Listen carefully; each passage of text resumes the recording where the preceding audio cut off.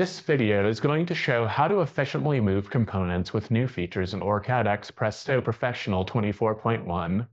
During the design process, design changes can require components to be moved to optimize space, shorten connections, or improve the layout.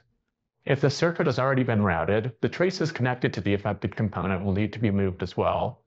OrCAD X Presto now includes a variety of features to make moving components easier and more efficient.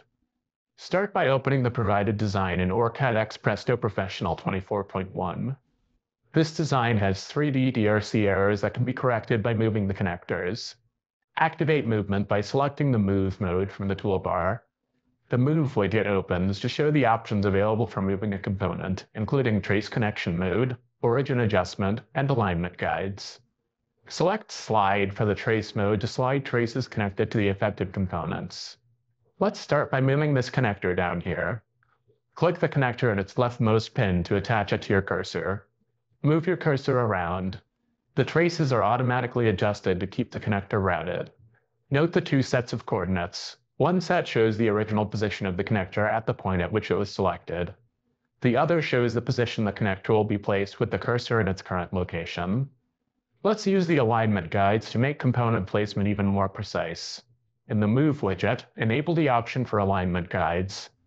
A magenta outline appears around the component. Check the option for Place Bounds to align the component by the placement boundaries of the other components on the board. For this example, we'll align the connector with the right edge of IC1 and the top edge of the middle capacitor and the array to the right as shown here. Click to place the connector. The traces were adjusted, but they now create a shorting DRC error. To fix this, select the Slide mode from the toolbar. Click a trace segment to attach it to your cursor. Adjust the trace and click again to place it. Adjust the traces to clear the shorting DRCs. If a component has critical traces, such as differential pairs, or is being moved to a completely different section of the board, it may make more sense to use the Rip-Up mode. The Rip-Up mode can be used to remove all traces. Select the Move mode from the toolbar, and in the Move widget, select Rip-Up for traces. Let's move the USB connector next. Select the center of the connector to attach it to your cursor. Click to place the connector where the coordinates read approximately 20 and 46. We can place this connector with even more precision by entering the desired location. In the absolute XY display mode, the coordinates shown when moving a component are absolute with respect to the design origin. Select the connector again and press Tab to edit the coordinate text fields. Enter 20 for the X coordinate and 46 for the Y coordinate. The connector is placed and detached automatically. Components with strict location requirement should be locked as soon as they are placed to prevent accidental adjustment. Click the Lock button in the Properties panel to lock the component in place, and click anywhere in the canvas to deselect it. Select the Move mode again if it was deselected, and select the Slide mode for traces.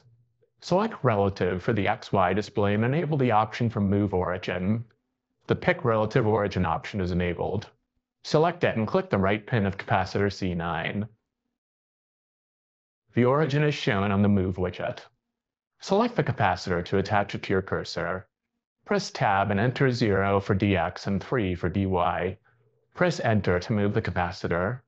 The capacitor is moved up 3 millimeters, but its connection to IC1 remains intact.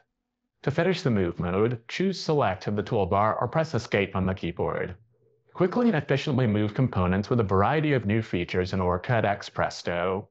For more tutorials, Visit us at resources.ema-eda.com and don't forget to like and subscribe to our YouTube channel.